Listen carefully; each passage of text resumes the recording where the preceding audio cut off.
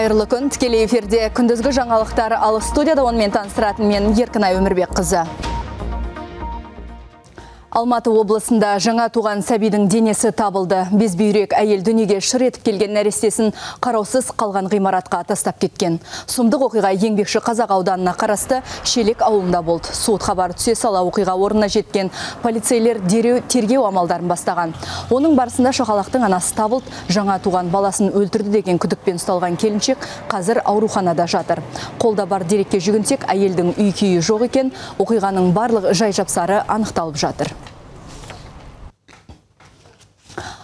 Ақтөбеде дөң кен байту кабинатында жүк көлігі аударылып екі жұмысшы қаза тапты. Жүк көлігінің аударылған сәті бейне бақылау камерасына түсіп қалды. 58 жастағы тізгінші мен оның жанында отырған 27-дегі кенші ауыр жарақат алып, сол жерде жан тапсырған.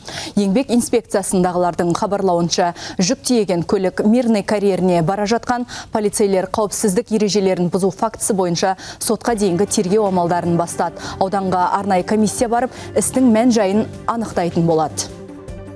Өндіріске қатысы бар ма? Жоқ па? Кінәлі не себептен болды? Соның бәрін анықтағаннан жеткеннен кейін қосымша ақпарат беріледі. Соңғы бейне ролик танымал блогер Бейбіт Әлібековтің көлігімен трюк жасаған 22 жастағы жігіт қаза тапты. Қайғылы жағдай Алматы облысындағы Сокол автодромында болған жас жігіт жүйткіп келе жатқан Ламборджинидің үстінен секірем дегенде абайсызда көліктің астында қалған. Ауыр халде ауруханаға жеткізілгенмен есін жимастан демі үзілді. Бұл факті бойынша полиция қылмыстық іс қозғап тергеу бастапты, ал блогердің өзі әлеуметтік желіде өкінішін жеткізді. К сожалению, новости не очень. Помните парня? Өкінішке қарай бұл жағдай ауыр тиді. Ол менен трюк жасау үшін көлігімді сұраған еді. Алайда бұл әрекет сәтсіз аяқталды. Мен марқұмның туыстарына қайғыра көңіл айтамын. Басқа айтарға сөзім жоқ. Мүмкін көлігімді бермеуім керек пе еді. Қытайда өмір бойына бас бостандығынан айырылған Ақжарқын Тұрлыбайды Қазақстанға әкелу мәселесі жақын арада оң шешімін табуы мүмкін. Оның өзі де жазасын елімізде өтеуге өтініш білдірген. Бұл жайлы Сенат дәлізінде бас прокурордың орынбасары Ғалымжан Қойгелдиев мәліметті. Оның айтуынша отандасымызды елге қайтару үшін қадағалаушы орган жылдан бастап жұмыс жасауда. Іске сыртқы істер министрлігі де атсалысуда. Ақжарқынның өзі де елдегі адвокатмен тұрақты байланыста екен ол қазақстан азаматын қытайдан қайтаруға бар күш жігерімізді салудамыз. Біз ол жұмысты тоқтатқанымыз жоқ ол жұмыс белсенді түрде атқарылуда. Менің ойымша жақын арада оң шешімін табады деп сенемін.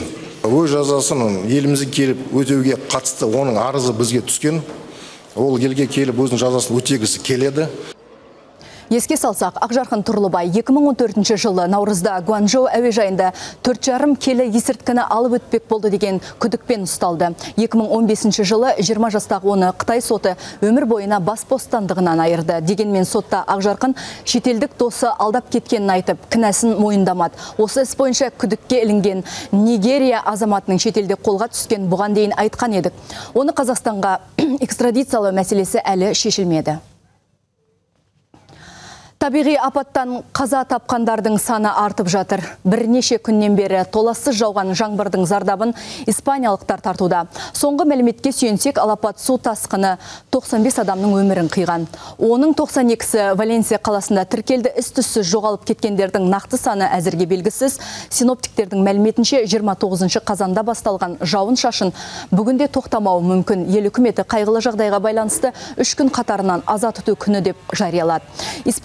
Су тасқынынан зардап шеккендер арасында қазақстандықтар жоқ. Бұл туралы сыртқы істер министрлігі хабарлады.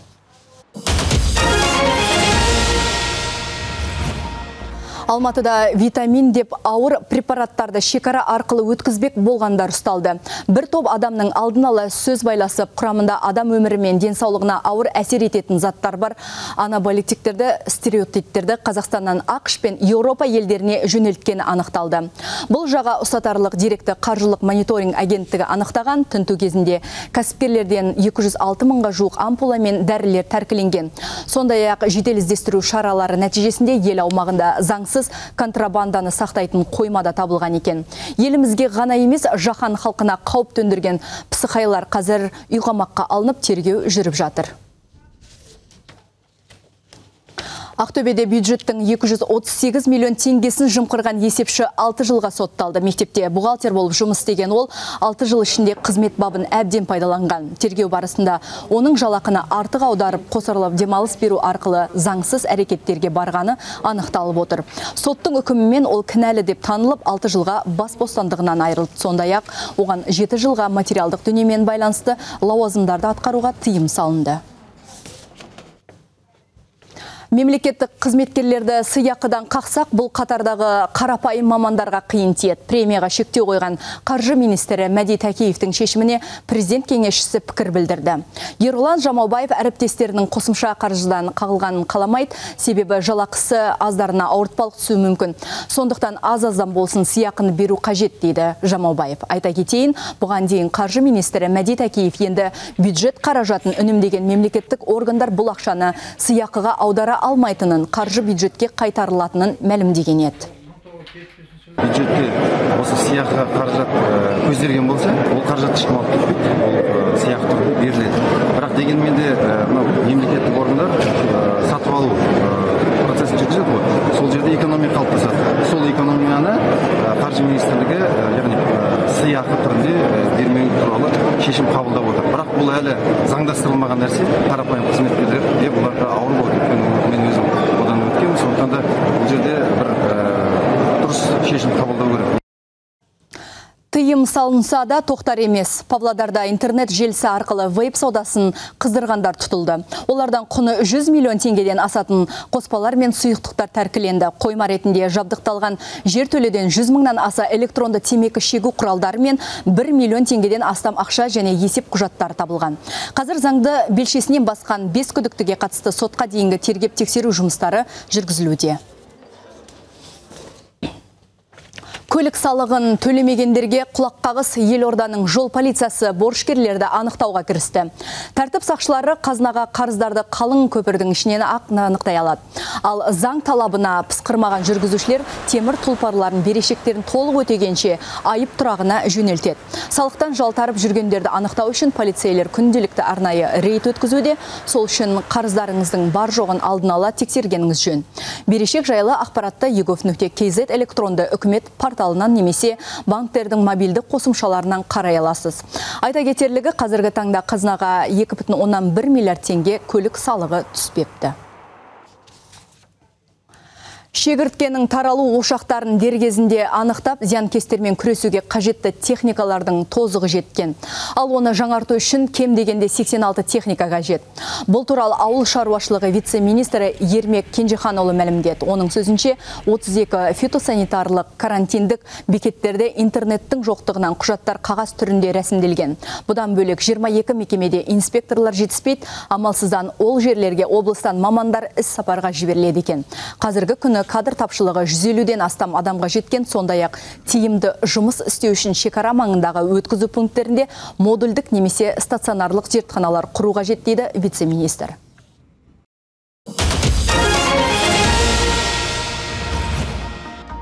Астанада дзюдо академиясы ашылады. Бұл аймақтағы жоғары санатты жаттықтырушылар мен төрешілерді даярлайтын орталықтардың бірі болмақ. Бұл жайлы мемлекет басшысы Қасым Жомарт Тоқаевтың қабылдауында болған Халықаралық дзюдо федерациясының президенті Мариус Визер мәлімдеді. Президент пен мәртебелі мейман 2027 жылы еліміз өткізгелі жатқан әлем чемпионатын ұйымдастыру жайлы пікір алмасты. Президенттің айтуынша Қазақстанда спорттың осы түріне қызығушылық зор, әсіресе балалар мен жастар арасында танымалдылыққа ие. Ал Елдос Сметовтың Париж Олимпиадасындағы жеңісі осы спортты серік еткен жастарға қанат бітірді. Сондықтан Қазақстан халықаралық дзюдо федерациясы мен қарым қатынасты өркендетіп, ынтымақтастықты жандандыруға ниетті. Кездесу соңында мемлекет басшысы еліміздегі шығыс жекпе-жегінің дамуына қосқан үлесі үшін еуропалық мейманды екінші дәрежелі достық орденмен марапаттады. Жәмила жарады. Отандасымыз Жәмила Бақбергенова әлем чемпионатының төрт дүркін жүлдегер атанды. Ол әйелдер күресінен Албания астанасындағы Тиранада өтіп жатқан жахан біріншілігінде күміс жүлдеге ие болды. 72 келге дейінгі салмақта сынға түскен жерлесіміз финалда Жапон палуаны Ами Ишимен белдесіп, 6-да 10 есебімен есе жіберді. Бұл 28 жастағы боскілем шеберінің ересектер арасындағы әлем чемпионатындағы төртінші медалі. Жәмила 2021 бірінші жылы Ослода 2022-де Белградта күміс жүлдегер атанған еді. Ал былтыр Сербия астанасында қола еншілет. Айта кетейік, Жамиля Тирана төрінде ақтық сынға дейін Молдова, Чех және Монголиялық қарсыластарын қапы қалдырды. Таразда тазалық жұмыстары жалғасып жатыр. Бұл жолы елуден аса ерікті облыс орталығындағы саябақтарға жиналды. Олар тұрғындармен бірге күрек тырмаларын алып, төңіректі тазартты. Демалыс орындарын жайнатуға жұмылған жастар елімізде экологиялық мәдениет қалыптасқанын қалайды. Үлкімді істің мақсаты қоқыс шығарумен емес, айналаны қоқысқа айналдырмаудан басталады деген пікірде. Айта кетейік, аймақта акция басталғалы 12 мың тоннадан аса тұрмыстық қалдық шығарылып, 800 шақырым канал тазаланды бұнымен тоқтамаймыз. Біз тазалық жұмыстарын әр апта сайын осы жыл бітсе келесі жылы өз жалғасын ары қарай табатын болады. Мен осыған бүкіл қала тұрғындарын тазалық акциясына тазалық жұмыстарына ат салысқан қалаймын. Және де барлығымыз бірге қаламыздың көркеюіне қаламыздың таза болуына өз үлесімізді қосайық дегім келеді. Каспиден итбалық қашатындай қашаған не шығарып жатыр. Байтақ партиясы мұнай-газ кен орны экологияға 5 миллиард 100 миллион теңгенің залалын келтірген дейді. Атырау экология департаменті осындай олқылық анықтапты, ал Инсиуси компаниясы бұл шығынды оңайлықпен төлегілері келмейді екен. Қазір соттасып жатыр, 110 миллион теңгесін ғана өтей салмақ. Оған Азаматхан Әміртай бастаған Байтақ Жасылдар партиясы қатташулы. Бүгін дереу конференция өткізіп, мәселені қолға алды месторождениесі ол бұл айтқан кезде соңғы 40 жылда табылған ең үлкен әлемдегі үлкен жер қойнауы болып саналады мұнайдың.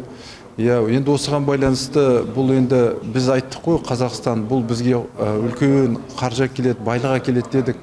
Ал қазір қарап отырсақ экологиялық жағын қарайтын болсақ зардап әкеліп жатыр. Міне қазір өздеріңіз білесіздер каспийде ит балықтар қырылып жатыр иә. Сонымен қатар қанша қоршаған ортаға қандай зияндар әкеліп отыр. Бізді мазалайды. Он жылдан кейін біздің мемлекетіміз қандай пайда көзін көреді? Елордада бір мезетте 3 мыңнан аса домбырашы балбырауын күйін шертті. Өнер әлеміндегі бұл ерекше оқиға Қазақстанның Гиннес рекордтар кітабына енді. Жас өрендер Құрманғазының шоқтығын биік тондысын Қазақстан жеңіл атлетикалық спорт кешенде күмбірлете орындады. Ұйымдастырушылардың сөзінше елімізде мұндай ауқымды музыкалық шара әлі болмаған, отандық рекордты бұзған домбырашылар әлемге танымал Гиннес кітабына кіруді жоспарлап отыр екен. Астана қаласының әкімдігінің мемлекеттік мекемесі дирекция осындай салтанатты рәсімді нелерді өткізетін. Осындай ұсыныспен шықты. Үш мыңнан астам домбырашыларды астана қаласының жинап құрманғазының балбырау балбырауын күйін бір мәрте үш мың екі жүзден астам бала соны ойнағысы келеді. Әрине бұл жалпы қазақстанда болмаған және де әлем деңгейінде де ең үлкен музыка рекордтарының бірі болып есептелінеді. Күндізгі жаңалықтарымыздың легі осындай болды, ал күннің басты ақпараттары кешкі сағат 18.30-да Еуразия бірінші арнасы қосулы болсын, күндеріңіз сәтті өтсін.